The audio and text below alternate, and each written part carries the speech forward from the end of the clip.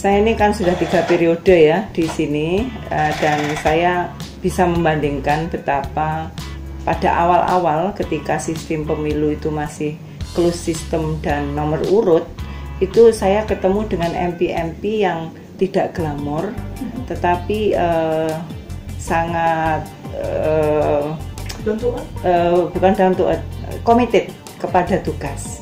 Jadi nggak ada yang bolos kalau bertanya juga nggak terus pergi sebelum dijawab. Kemudian uh, substansinya juga bagus. Bayangkan ya waktu itu saya politisi yang baru masuk ke DPR ketemu dengan Pak Andi Matalata Nur Sahbani Kaca Sungkana lalu Marsuki Darusman terus kemudian uh, beberapa senior Pak Mahfud MD uh itu seperti sesuatu yang saya alhamdulillah punya pengalaman uh, jadi menurut saya uh, sistem pemilu sangat mempengaruhi uh, kualitas MP yang masuk dan ketika kualitas MP yang masuk tentu performance parlemennya dipengaruhi oleh itu. Ya, saya sangat berharap kan orang itu selalu uh, bergerak dan menemukan balancing baru ya. Dan mudah-mudahan uh, tekanan masyarakat juga kritik-kritik dari masyarakat itu uh, merubah orang bahwa ekspektasi orang bolehlah sistem pemilu terbuka tapi paling tidak ada KPI atau key, apa, key performance indicators yang jelas begitu ya di in terms of etika, in terms of produktivitas, in terms of integritas dan seterusnya itu. Ya mudah-mudahan karena ini demokrasi maka akan ada uh, satu proses balancing baru begitu. Untuk parlemen uh, saya berharap ada perbaikan kode etik. Kode etik. Kode etik itu kunci. Karena people behave itu tergantung dari sistem yang di set up. Kalau sistemnya itu terlalu loose, tidak mengakomodasi konflik of interest, maka ya orang behave-nya orang yang punya tambang yang milih di komisi 7 orang yang punya rumah sakit milih di komisi 9 padahal itu konflik of interest. Banyak ngomong tapi nggak ngaruh itu kan sedih kan? Betul, jadi betul. harus banyak ngomong tapi berpengaruh kepada proses pengambilan keputusannya. Jadi saya kalau ditanya kalau nggak ada aku bunyi pasalnya nggak kayak gini loh. Hmm. itu loh mbak. Kalau nggak ada aku nggak ada alokasi budget untuk trafficking. Itu hmm. jadi terukur. Jadi karena politik itu kan suatu perubahan. Hmm. nah perubahan melalui politik di DPR yaitu di undang-undang di budgetingnya di overseeing-nya dan seterusnya. Bisnis di dalam politik itu dua hal mbak. Nama baik ya reputasi. Dua hal itu. Kalau dua ini hilang hilang deh kamu kayaknya dari politik. Jadi menurut saya eh, masalah moralitas profesionalitas itu harus gandeng jadi satu. Nah oleh karena itu saya ingin eh, apa ya dalam melakukan kerja itu eh, isu tentang integritas itu pokok menurut saya di politik. Uh, dan uh, ya istilahnya saya memberikan pelayanan kepada rakyat dan saya mengambil dari guru besar IKIP ya. Eh, supaya gembok itu berfungsi kunci nggak boleh lebih besar dari gembok nah rakyat itu yang gembok itu. Kita yang harus merelatifkan diri. Di telepon ya jangan marah. Di telepon jam satu itu sering tuh teman-teman itu. Kalau lagi online gitu langsung mbak langsung kita anak wartawan itu. Karena saya memang tugasnya meng, me, mengakselerasi problem rakyat merespon dan seterusnya. Dan kalau dikasih uh, masalah ya jangan lari kayak gitu. Jadi yaitu merendahkan diri kalau bayi riset kita kan pullingnya bagus terus nih tapi aku takut bukan takut khawatir dan serius tidak mau apa yang terjadi di pilkada DKI terjadi di daerah lain karena itu dampaknya istilahku akut dan sustainable sampai sekarang kan. Sementara Pancasila kan merangkul. Jadi saya berharap di pilkada dan yang akan datang lebih cerdas, lebih substantif, lebih rasional, dan tidak politisasi sara.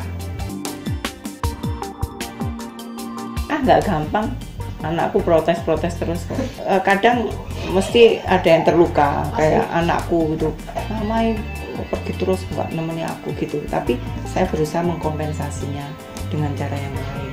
Jadi uh, perjuangan juga di dalam uh, domestik kita ini ya. Tapi kita kasih pengertian. Misalkan mama ini diajak ngomong artis nggak ngerti diajak ngomong lagu-lagu baru nggak ngerti itu. Anakku yang cewek itu komplain seperti itu. Aku ngerti ya nggak kayak mamahnya ini mamahnya ini. Ya tapi mamahnya itu nggak pernah di TV tuh ya. Oh. nggak pernah nggak pernah ngurus. Nggak ya kalau manfaatnya mama kan lebih gede daripada itu. Ya ngomel tapi ya ya gitu kayaknya sampai pernah dia komplain aku nggak mau jadi politisi kasihan anak-anakku. Gitu. Oh. anakku eh sekarang ikut GMN ya anakku yang cewek. Oh, udah terjun juga ibu udah, udah. Gitu. darah aktifnya langsung kayak perempuan ya karena dilihatnya kan tiap hari melihat mamanya aktif kayak gitu kan ya akhirnya terinspirasi juga.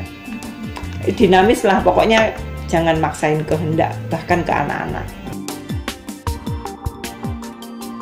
Moral kerja keras keikhlasan eh, nggak gerundelan itu ibu saya karena ibu saya itu sekarang 86 tahun ya. Dia sehat dia manfaat bagi orang lain. Jadi hidup harus bermanfaat. Gitu itu kesemuanya ibu saya. Dan kerja keras itu. Uh, kalau masalah politik tentu Pak Karno ya. Nah untuk tokoh perempuan kombinasi. Aku senang Kartini tapi juga senang Cut Nyadin dua kombinasi itulah saya pingin pingin yang apa perempuan yang tidak terjebak di fungsi domestik ya. Walaupun di dalam domestik itu pun sebetulnya kalau kayak kayak kartini itu kan jangkauannya luas juga ya. Soal pendidikan pencerahan dan seterusnya. Nasionalisme itu kan kartini. Tapi aku seneng kalau agak Wonder Woman gitu loh. Iya karena toh di Aceh itu kan para pahlawannya kan laksamana laut terus cutnya Adin yang gerilya bertahun-tahun dan seterusnya. Jadi perempuan itu uh, apa membongkar batasnya sendiri. Itu kulihat di cutnya Adin sama uh, Mutia itu. Klasik simple bahkan orang nyebutnya desol karena iya karena gaya aku ya selalu gini kunciran dan seterusnya karena menurut saya nyaman ya dengan gaya yang sederhana. Walaupun anak perempuanku komplain ini tuh simple mami. Pas saya pejabat nggak nggak asik kayak temen-temennya mami tuh sering aku biarin aku pokoknya nyaman. Terus ya etnik ya ini suka yang itu. Kalau paripurna aku kebayaan. Kalau kebaya bu ya? Ya kebaya atau tenun lah gitu. Mm-hmm. itu udah geng kita lah ngomong pokoknya paripurna harus tradisional gitu. Mm-hmm. tapi kalau sehari-hari ya kayak gini-gini aja. Tapi karena banyak jalan kan aku. Banyak travel jadi uh, fisik tuh bergerak terus gitu. Walaupun tidak akademik ya. Hmm. olahraga kan akademik. Ya, Ya, tapi bergerak terus. Saya saya masih naik gunung loh walaupun hmm. tidak direncanakan gitu. saya kan dulu ikut pecinta alam ikut pramuka oh, gitu. ibu mapala juga bu uh, bukan mapala kalau di sana dulu wanala oh wanala gunung apa bu yang ibu sering naik semua gunung di Jatim sudah naikin oh. uh, saya ini tipe orang yang apa istilahku ya mengalir tapi tidak hanya dan perencanaan orang itu selalu dalam perencanaan Tuhan.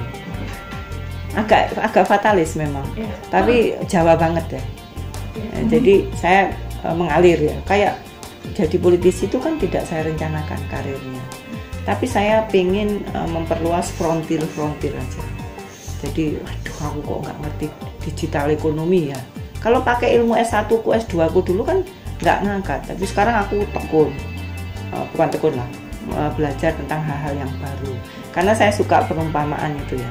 Elang supaya bisa terbang tinggi. Itu pada saat umur 40 dia akan uh, apa mengelupa anu apa uh, membentur-benturkan uh, sayapnya ada supaya berganti. Nah bagiku, uh, bagiku uh, evolusi fisik sudah mentok ya, tapi evolusi spiritual, evolusi mental, evolusi inner itu kan kita sendiri yang mementarkan.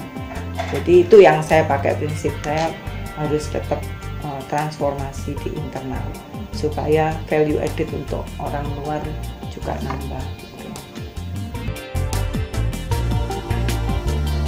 Indonesia harus lolos dari radikalisme. Saya nggak mau jadi Suriah, saya nggak mau jadi Libanon, saya nggak mau jadi Libya yang sekarang malah worse off ya.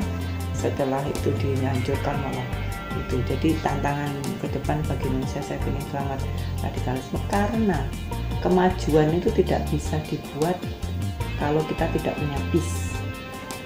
Nah radikalisme itu bikin konflik jadi nanti nggak bisa maju kita nggak bisa tumbuh nggak bisa berkembang dan seterusnya jadi peace untuk Indonesia agar supaya berkemajuan supaya bisa uh, tambah sejahtera dan seterusnya. Resolusi bagi saya sendiri saya agak was-was ini karena uh, beda ya uh, ketika saya jadi ibu bagi anakku yang sulung dengan anak yang sekarang. Anak yang sekarang itu sangat egalitarian. Di tengah uh, mentransformasi diri saya untuk memfasilitasi dia dengan tekanan eh, tekanan-tekanan baru. Jadi concern saya itu anak saya yang ini saat ini ya, karena aduh, lingkungannya jauh beda dengan lingkunganku, lingkungannya anak sulung dan seterusnya. Frekuensinya udah beda bu Beda banget, sering sok